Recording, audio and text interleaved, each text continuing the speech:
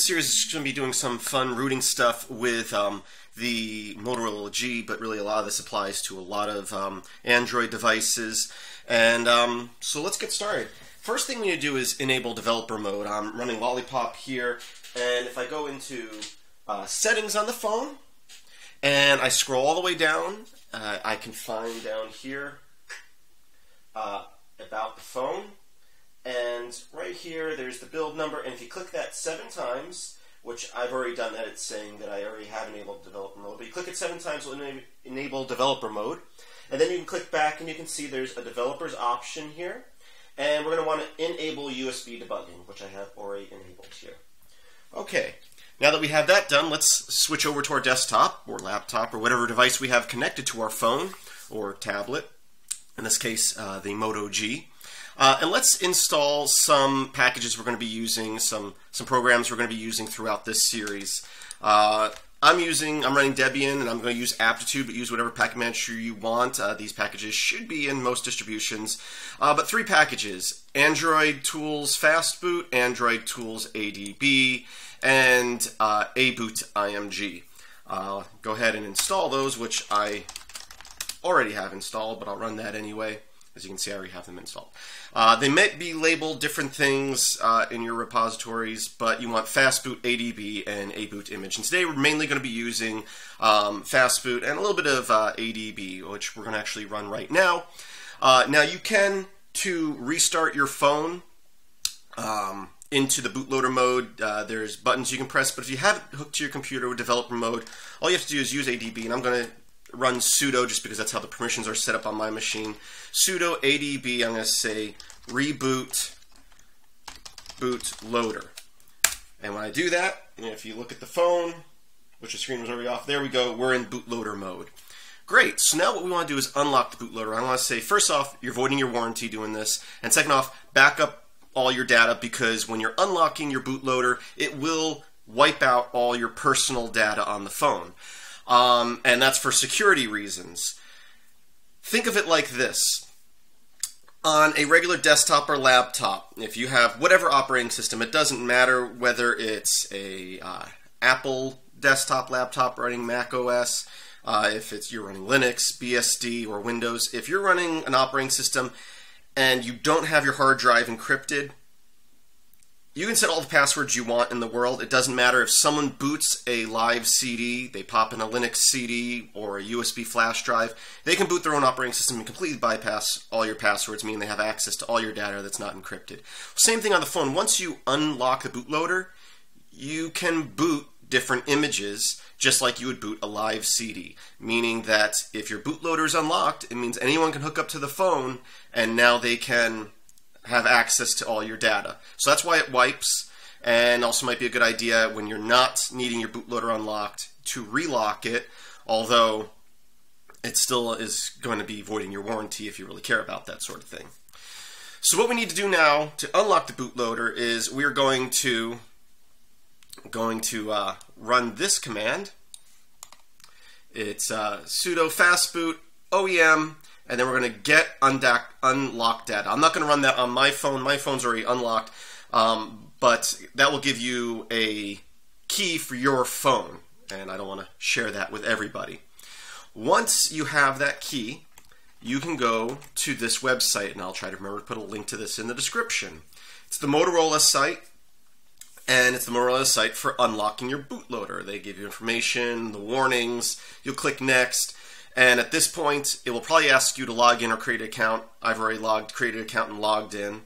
Uh, and here it's telling you what I just told you. Run fastboot, OEM, unlock data, and it will give you output that looks something like this.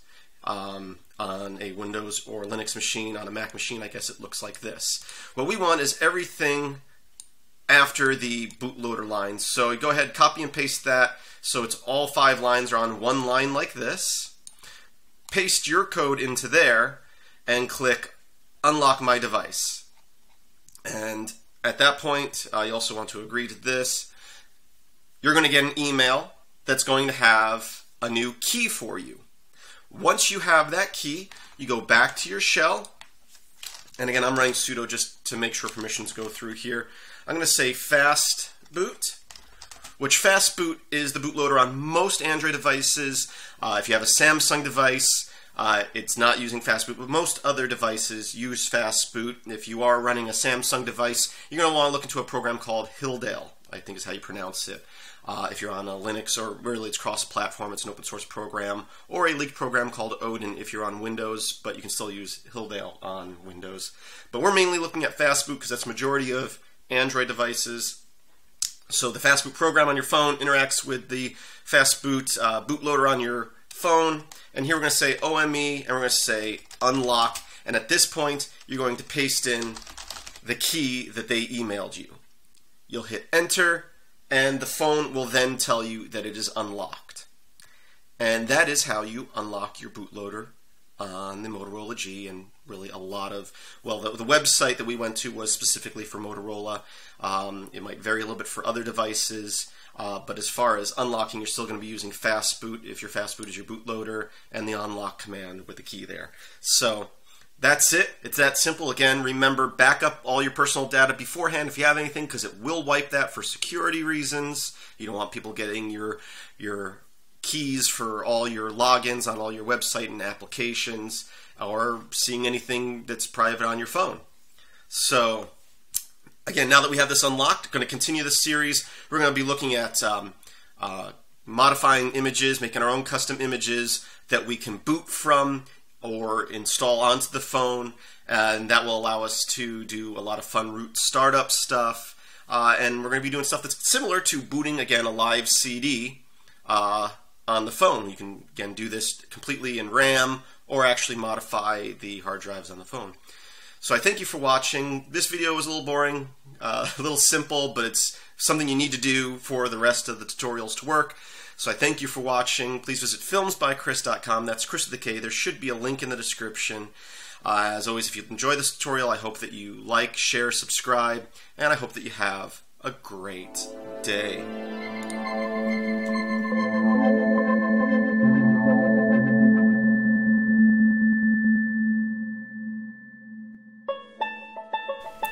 Okay, this is an introduction to filmsbykris.com. I'm Kris, that's Kris the K. That's me right there. My daughter Ember, and my wife Jennifer. We pretty much live in the swamps of Florida. I'm a firefighter by day, as well as by night. We work long hours. But that's not why you're here. You're here about the videos I put up on YouTube. These videos are mainly about computers and programming which means most of my videos look something like this. And if that's what you're interested in, great. If not, that's alright. I do videos on other topics too, such as video editing, special effects, photo editing, 3D design, and music creation. If you are one of my viewers and you enjoy my videos, my Patreon page is a place where you can go to help support my videos. So I ask that you take the time to go to my Patreon page and look at the different levels of rewards you can receive for different levels of backing. There should be a link in the description of this video if you are watching it on YouTube. Otherwise, you can visit patreon.com forward slash MetalX1000. And I thank you for your time and your support. Have a great day.